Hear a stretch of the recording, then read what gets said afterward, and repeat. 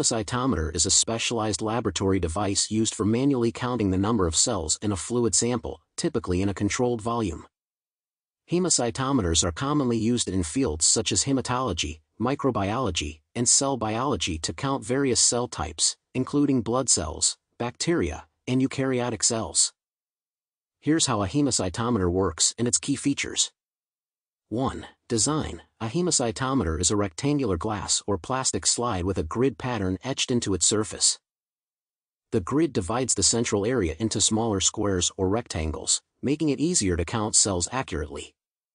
The most common type of grid pattern is the Neubauer chamber, which is widely used in clinical laboratories.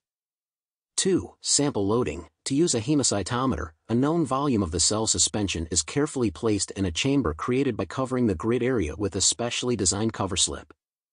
The cover slip creates a defined depth for the fluid, allowing for accurate cell counting.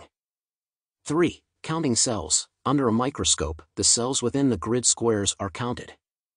Typically, cells that touch the top and left boundaries of a square are counted, while those touching the bottom and right boundaries are not, to avoid double counting. Cells are counted in several squares, and the counts are averaged to estimate the concentration of cells in the original sample. 4. Calculation The total cell count is determined by multiplying the average number of cells counted per square by a factor that accounts for the dilution and the volume of the chamber. Hemocytometers are used in various applications, including hematology, counting blood cells to diagnose conditions like anemia, leukemia, and infections. Microbiology, counting bacterial or fungal cells in culture to determine growth rates or microbial concentrations.